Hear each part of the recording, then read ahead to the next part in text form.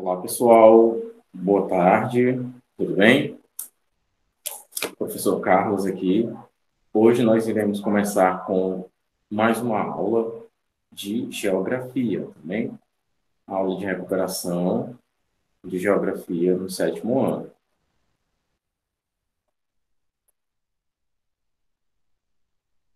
Como nós havíamos é, já visto as atividades ontem, né?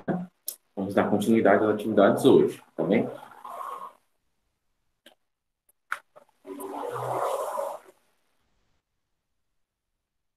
Vão pegando o livro de vocês. Tá, esse aqui. Tá.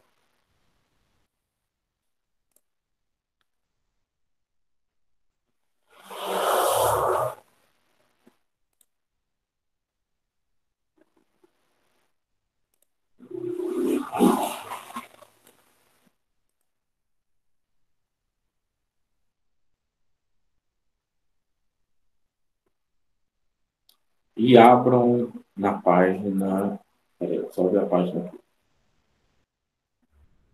Página 360.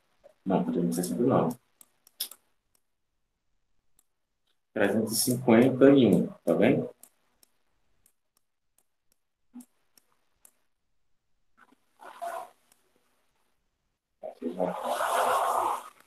Vai ver se melhor assim.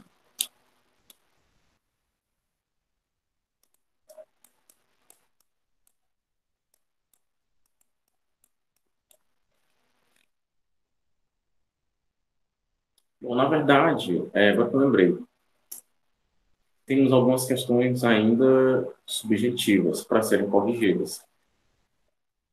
Se localizam na página 347, tá bem? Quase que eu ia esquecendo. Na verdade, está aqui anotado. Eu não tinha percebido. Primeira questão da página, só um momentinho.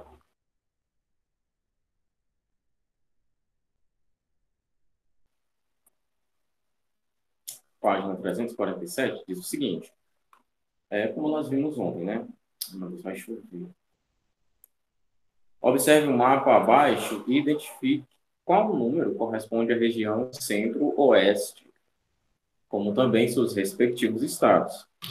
A gente pode notar aqui que a região que corresponde ao centro-oeste é essa região que está em amarelo, a região número 1, tá bem? E os seus estados são é, Mato Grosso, Mato Grosso do Sul, Goiás, Distrito Federal.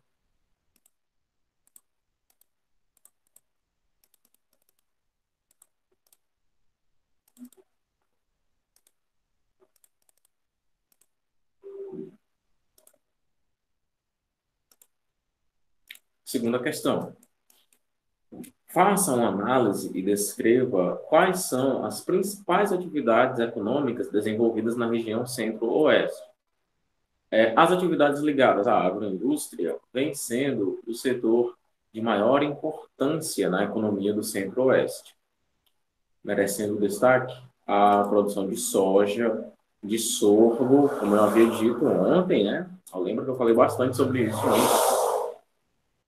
É, arroz, milho e, além do mais, a região ela também se destaca é, por possuir o maior rebanho de gado do país. Vou espirrar.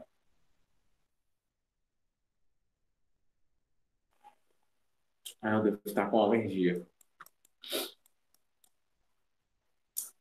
É, terceira questão. A respeito da região centro-oeste do Brasil, coloque V nas alternativas verdadeiras e F nas falsas. É, a região, letra A, tá bem? Ajustar essa câmera aqui.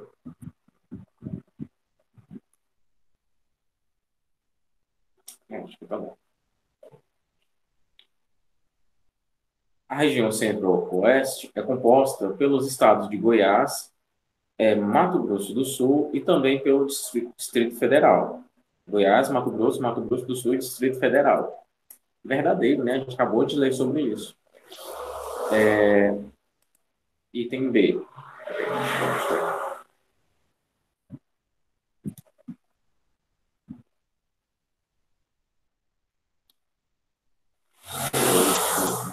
Dois.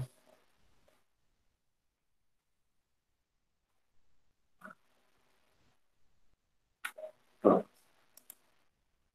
O Distrito Federal situa-se no estado de Goiás, que é o menos populoso da região centro-oeste. Essa alternativa aqui a gente vai marcar é, como sendo falsa também.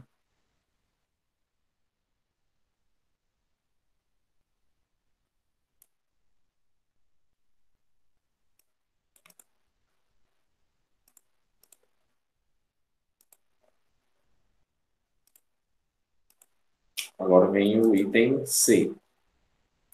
A região centro-oeste tem o maior rebanho bovino do país. Se destaca na agroindústria e no cultivo de soja e algodão. Essa daqui a gente viu na questão anterior também. Isso daqui está verdadeiro.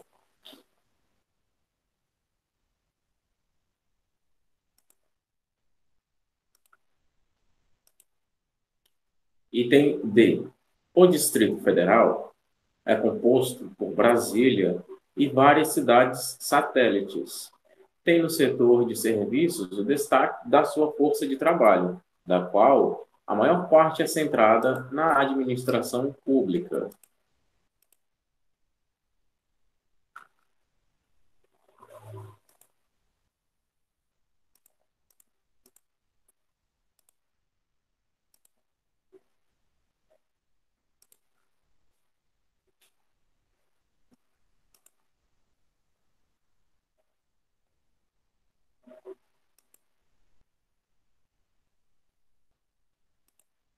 É, esse item a gente vai marcar, né, dando um tempinho, dá como verdadeiro também, tá certo?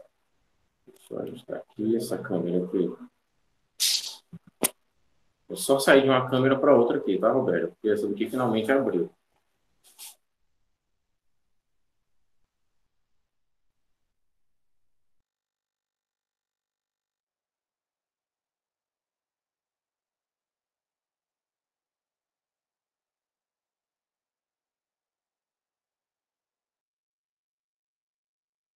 Pronto, vamos continuar por aqui, tá certo? Letrinha E. Na região centro-oeste, é, situam-se quatro grandes chapadas. A Chapada dos Veadeiros, a Chapada dos Guimarães, a Chapada Diamantina e a Chapada do Arari. Essa daqui a gente vai marcar também é como sendo falsa, certo? Essa, esse item aqui é falso.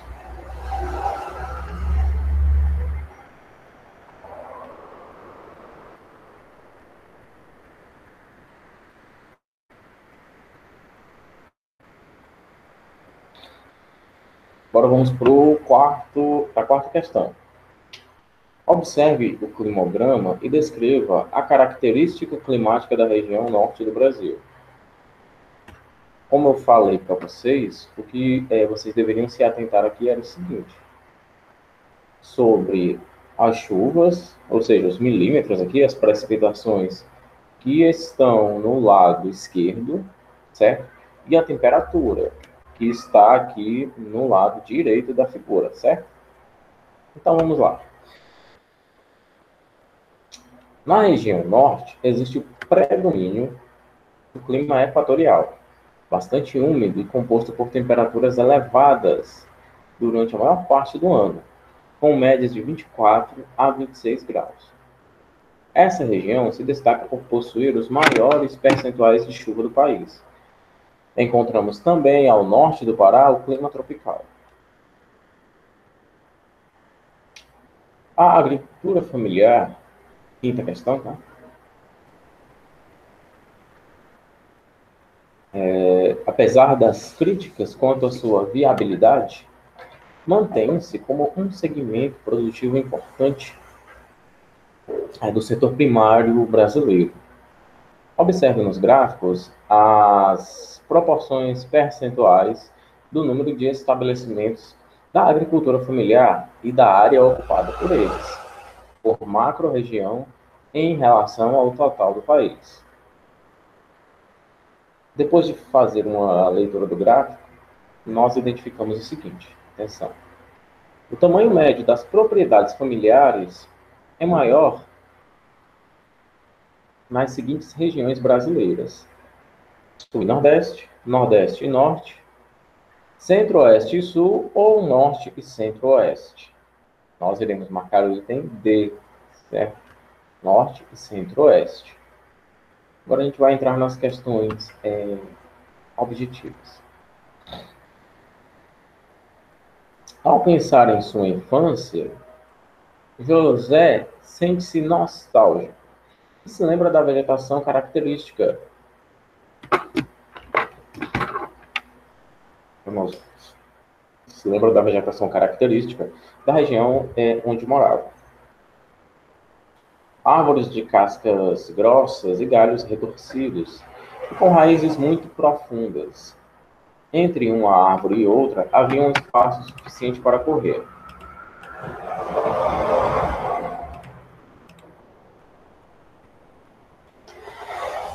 É, e no inverno seco, a vegetação ganhava aspecto amarelado.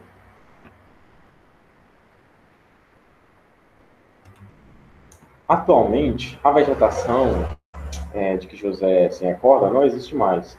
Tornou-se uma extensa plantação de soja. É correto concluir que José passou sua infância no estado do, é, de Goiás, tá bem?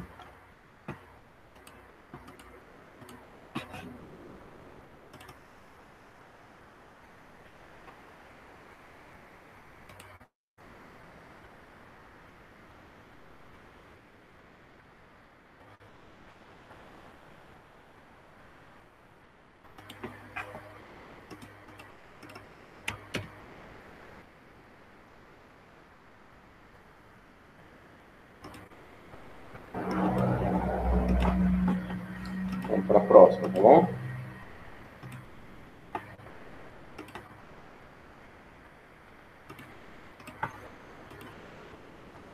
Segunda questão. Abre aspas. Na Amazônia, é, boa parte dos municípios é, que compõem a mancha pioneira apresenta as maiores taxas de desmatamento do bioma amazônico e um expressivo e perverso é, processo de especulação fundiária, no qual a grilagem e a venda ilegal de terras, inclusive pela internet, é seu principal artífice. A rarefeita presença humana e os meios rudimentares de sobrevivência de boa parte da população desprovida de capital e de qualificação levam à configuração de um espaço descontínuo, na mancha pioneira, é, que forma o arco de desmatamento, são predominantemente encontrados extração de madeira e agricultura de cana e milho, extração de madeira, pecuária, de cultivo, pecuária e cultivo de soja, pecuária, eh, cultivos de cana e extração de minérios, extração de minérios, agricultura eh, de milho e cana, ou agricultura de soja e arroz e extração de minérios.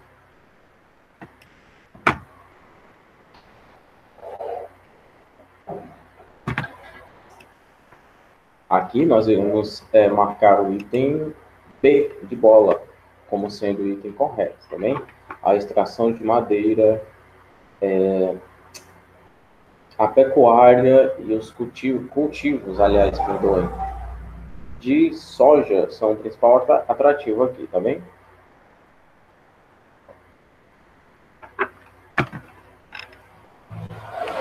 Aliás, o principal atrativo não, é o que predomina no arco do desmatamento.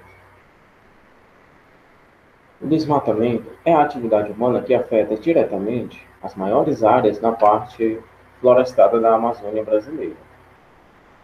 A área desmatada é maior do que a França.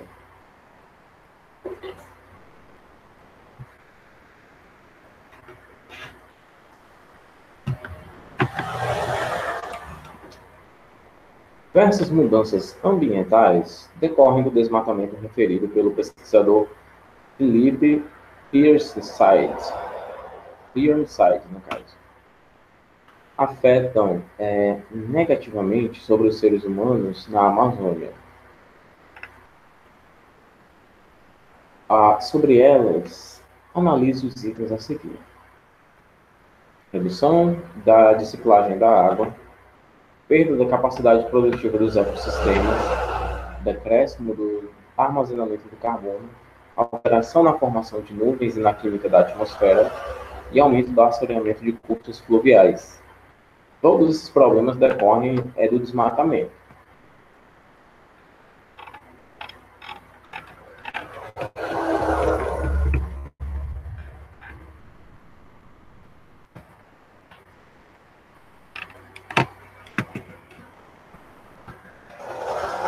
Terceira questão. Aliás, quarta questão. Tipo de vegetação característica da floresta amazônica, situada nas áreas de planície inundáveis, planícies, aliás, inundáveis, pelas cheias sazonais dos rios, com árvores que não ultrapassam 20 metros de altura. Essa vegetação corresponde à mata de Gacó, Nos mapas abaixo são representadas as médias históricas da variação de variação, aliás, da chuva no território brasileiro em milímetros por estação do ano. Considere os climogramas. Comparando os mapas com os gráficos, identifique as macro-regiões brasileiras eh, nas quais predominam os climas A e B, respectivamente. Em seguida, explica a pequena variação anual da temperatura em ambos os climas, região norte e região centro-oeste. Clima A na região norte, clima B na região centro-oeste.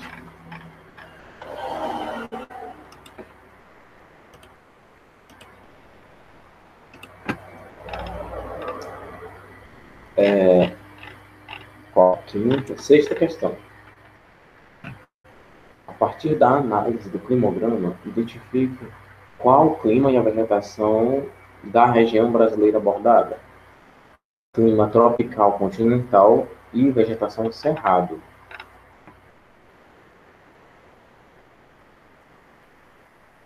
O período comumente denominado, comumente, aliás, denominado de Anos Dourados, marcou uma etapa da recente história brasileira associada ao desenvolvimentismo, abertura de rodovias, expansão da rede elétrica, implantação da indústria automobilística, descentralização do capital e a atmosfera cultural, marcada pelo surgimento da Bossa Nova. A que governo tal período está associado? Jânio da Silva Quadros, Eurico Gaspar Dutra, Getúlio Vargas, João Goulart ou Juscelino Kubitschek. Os dourados são é, associados a Juscelino Kubitschek.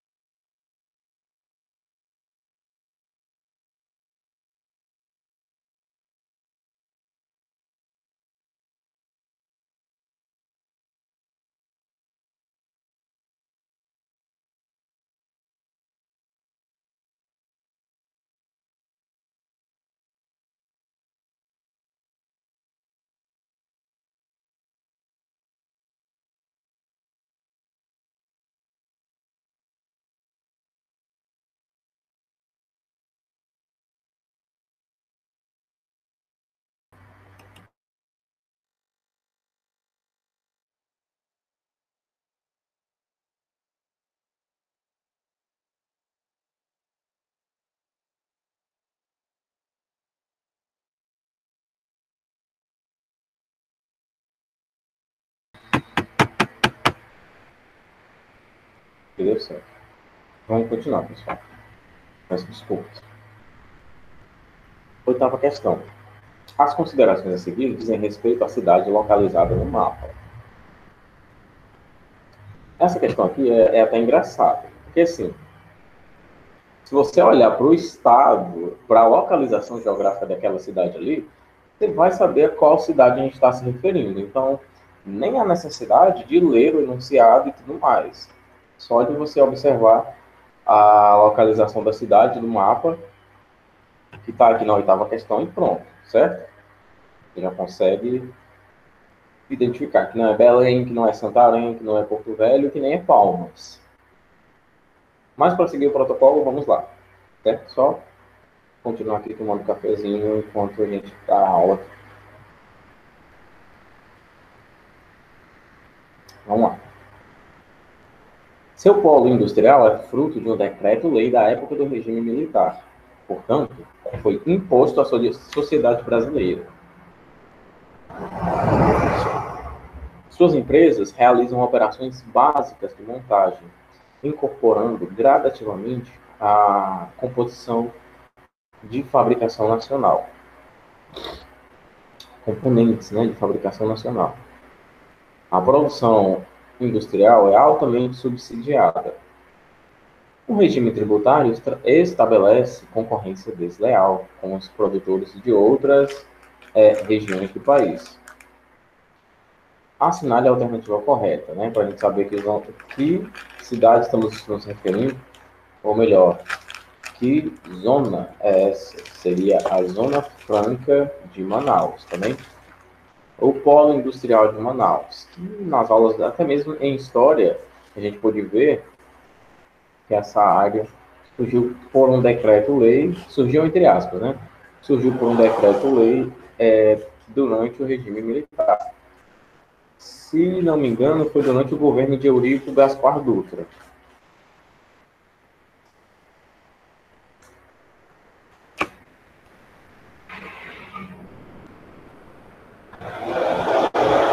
marca a letra C. Próxima questão. É, nona questão. Um domínio da Amazônia legal. Abre aspas. É domínio da lavoura tecnificada. Trata-se de uma porção onde predominam os cerrados e não as florestas. E onde é, foi mais patente o progresso técnico da agricultura brasileira, tendo em vista a expansão do cultivo de soja com alta produtividade. É possível associar o transporte é, dos grãos de soja provenientes da é, porção amazônica a uma das três estradas apresentadas no mapa. Aí no mapa a gente tem é a BR-319, BR-163 e BR-230. O trecho da estrada que torna essa associação possível é Mato Grosso-Pará, BR-163.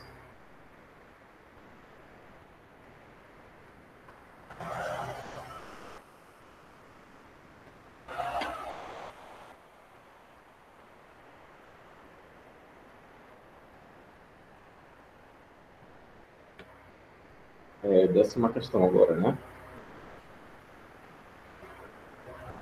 Décima questão, vamos lá.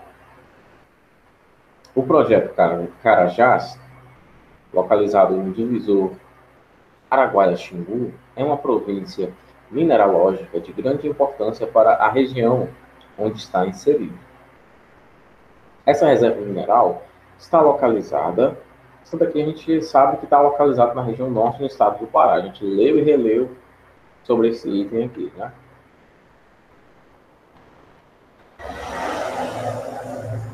Agora vamos aqui para a próxima. Décima primeira.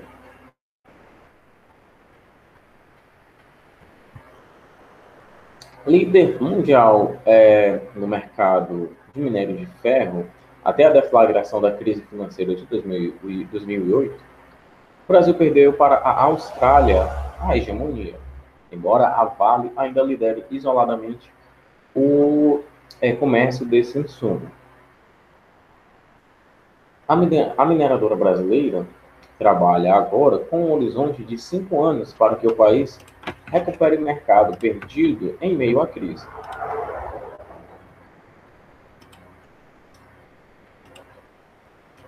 De acordo com a notícia acima, a mineradora.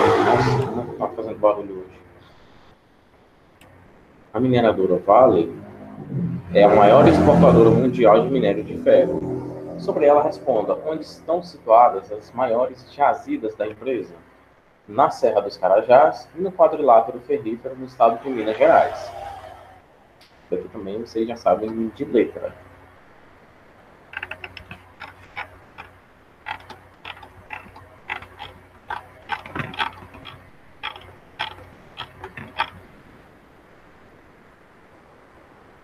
Décima primeira questão. Aliás, décima primeira a gente acabou de fazer. Décima segunda questão.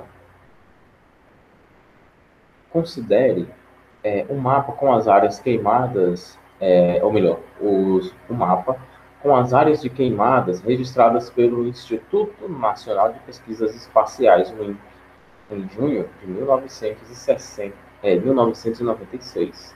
A leitura do mapa permite afirmar que os principais pontos de fogo encontrados no período cartografado correspondem a ou ao ou às o quê? As áreas há muito desmatadas e que, desde o início da década, têm sido ocupadas por poceiros e por integrantes do MST, Movimento dos Sem Terra, as áreas campestres e aquelas é, recobertas pela floresta que passam por sucessivas queimadas para se transformarem em paisagens? As áreas florestadas da Amazônia, onde predominam as culturas é, especulativas de soja e de cana-de-açúcar, ao cerrado em terras do Planalto Central, onde se instalaram carvoarias destinadas a atender projetos de é, minerais da região, ou ao cerrado e às áreas antigamente recobertas pela floresta, hoje desmatadas e que fazem parte da chamada fronteira agrícola. Esse daqui nós iremos marcar o item A, tá bem? Foi esse último que eu acabei de ler, eu li embaralhado aqui. Ao cerrado e às antigas áreas é, recobertas pela floresta hoje desmatadas e que fazem parte da chamada fronteira agrícola. Próximo.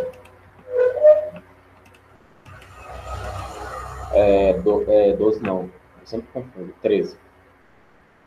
O Pantanal é um tipo de bioma que se caracteriza é, por ser uma das maiores planícies inundáveis do planeta. Marque a alternativa que corresponde aos estados brasileiros que possuem esse bioma. É Mato Grosso e Mato Grosso do Sul. Letra D, tá bem? Décima quarta questão é o seguinte: Brasis, diversidade.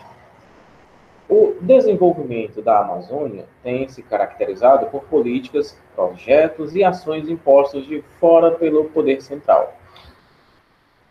Combinando, ou melhor, combinado a poderosos grupos econômicos transnacionais e a grupos privados regionais que criam riquezas voláteis e empregos é, precários na região, desestabilizando-a. A lista é longa,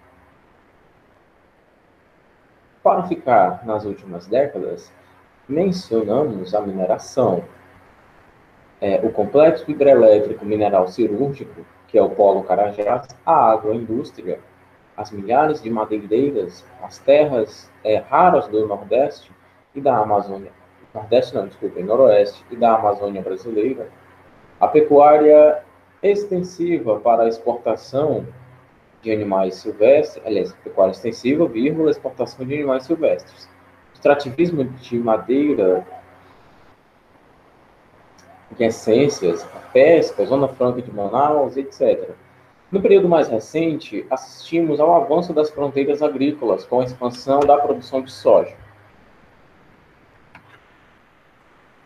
É a expansão acompanhada pela abertura de hidrovias e estradas.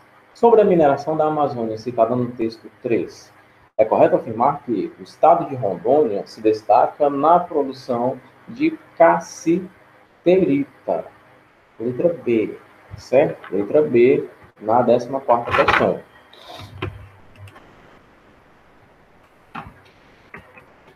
Bom, meus queridos, é o seguinte. É... é aqui, Essas respostas estarão no Google Sala de Aula, como eu já falei para vocês, assim como as outras é, dessas atividades que a gente fez agora de recuperação, certo? Todas as respostas estarão, estarão lá, então não tem por que se preocupar. É muito importante que você, se você tiver com alguma dúvida, você fale com o professor, se tiver alguma dúvida, eu vou tirar suas dúvidas com muito prazer, certo? Vou ficando por aqui, qualquer dúvida me chamem, é, qualquer falta minha me cobrem. Até mais.